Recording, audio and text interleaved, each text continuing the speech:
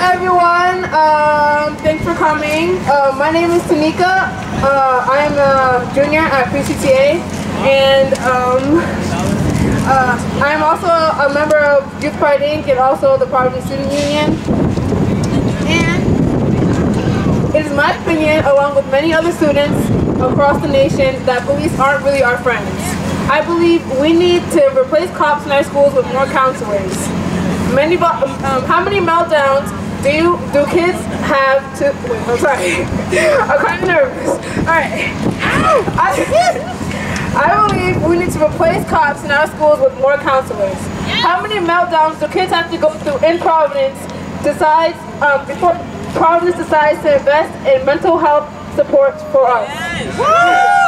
Other than the fact that cops are a negative factor, we have we have nurses who aren't even there full time.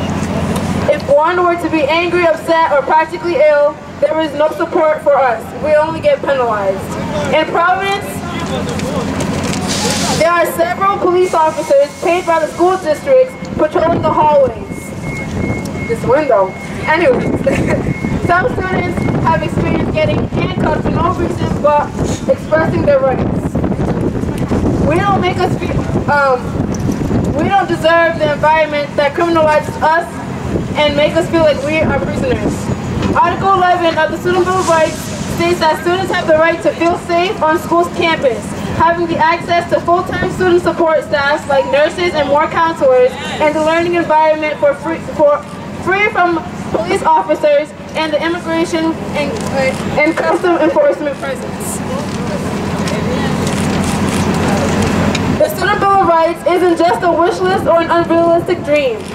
It is something that should be taken seriously because we fight, we will fight until we deserve what, what we, uh, we, Yeah. we, I get an amen? Okay, sorry. Um, Don't be sorry, girl. we will fight for these rights until we get an education with dignity we deserve. We hope that our teachers, principals, district in this city is listening.